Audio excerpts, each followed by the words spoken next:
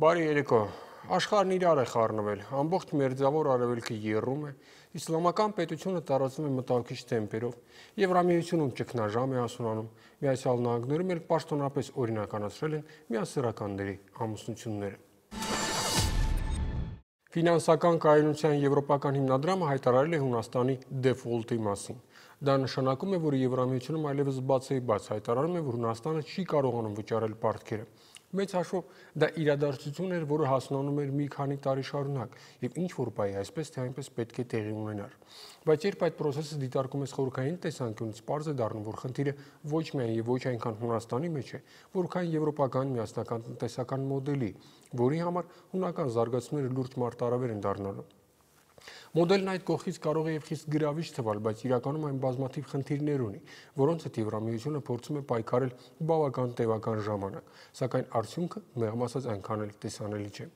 Հունաստանը, որը դեռևս Եվրամիության անդամ չէր, դասում էր զարգացած երկրների շարքը։ Տնտեսական հիմնական ցուցանիշներով առաջին 2-3 տասնյակում էր գտնվում։ Հիմա այդ երկիրը սկսել է դասվել զարգացող երկրների շարքը, եւ դա հետընթաց է, որն ուղղակի վիթխարի է։ Մինչդեռ երբ կողքից ես նայում այս ամենին, անհասկանալի է դառնում, թե ինչպես կարող է Հունաստանը տնտեսական լուրջ խնդիրներ ունենալ ընդհանրապես։ Երկիր, որն ամենագրավիչներից մեկն է համաշխարհային զբոսաշրջության մեջ, ինչը կարևոր գործոն է այդ երկրի տնտեսության կայունության համար բայց փաստն այն է, որ այսօր Հունաստանը փաստացի սնանկ է ճանաչվում։ Դա երկիր է, որն այլևս չի կարողանում վերադարձնել պարտքերը։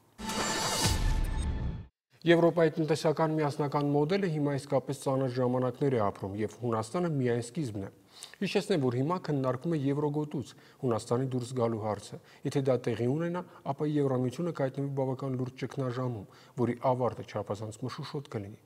Եվ այս տեսանկյունից հունական խնդիրը ծանրագույն փորձություն է ոչ միայն հենց իրենց հույների համար, այլ ամբողջ Եվրոպայի։ Չնայած ծանր դրության մեջ հիմա հենց հույներն են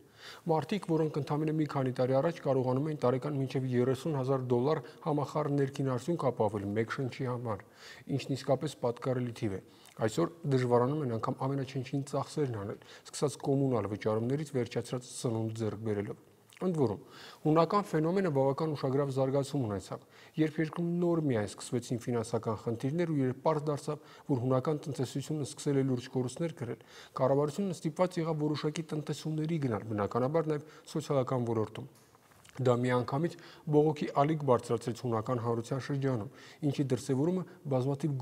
գործադուլներն էին։ Եվ ահա, փաստացի, նաև այդ գործադուլները լրջորեն վնասեցին հունական տնտեսությանը, կտրուկ անկում գրանցելով։ Ստացվեց, որ մարդիկ բողոքում էին իրենց կենսամակարդակի վատթարացման դեմ, բայց այդ բողոքը ել ավելի էր վատթարացնում նրանց վիճակը։ Ու եկավ մի պահ, երբ տնտեսությունը անկում արձանագրեց շուրջ 20%-ով։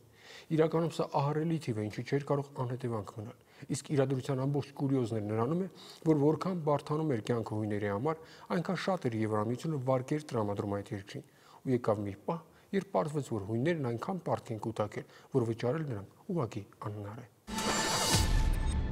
Պատահական չէ, որ Հունաստանում հիմա շատերն են մտածում Եվրամիությունից ընդհանրապես դուրս գալու մասին։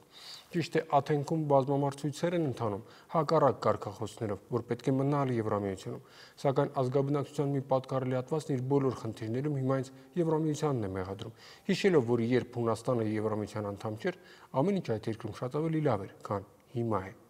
Ամեն դեպքում կասկածից վեր է, որ հունական խորացող ճգնաժամը չի կարող իր ազդեցությունը չունենալ շատ ավելի մեծ տարածաշրջանի եւ առաջին հերթին Եվրամիության վրա։ Առողջ եղեք։